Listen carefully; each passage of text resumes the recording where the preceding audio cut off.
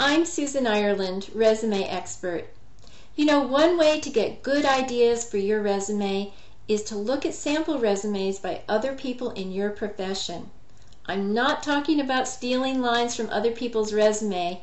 I'm talking about getting good old inspiration from other people's work.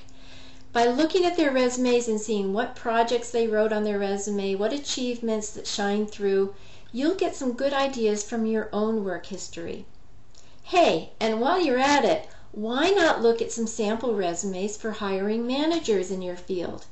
That's a great way to get into their mindset and understand what will make them want to invest in you as their next employee. I'm Susan Ireland at susanireland.com.